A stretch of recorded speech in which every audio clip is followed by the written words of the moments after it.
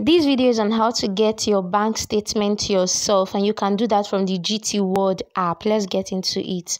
So into it, you sign in. I use fingerprint to sign in. So once that is signed in and you are in the interface now, your finger and slide, slide. You can see the arrows.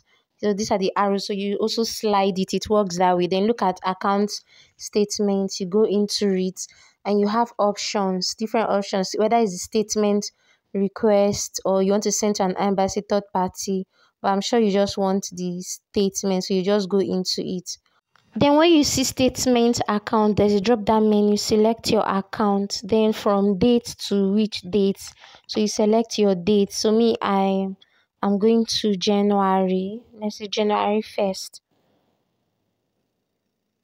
First, then you now select set.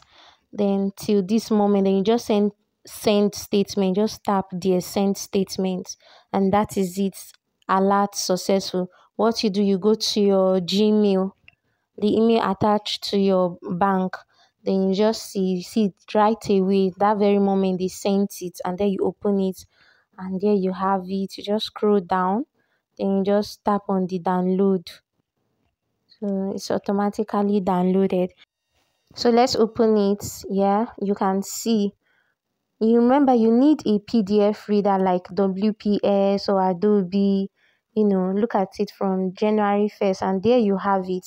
So mine was about 10 pages plus so let me know other video suggestion okay? Give this a like share and subscribe. Bye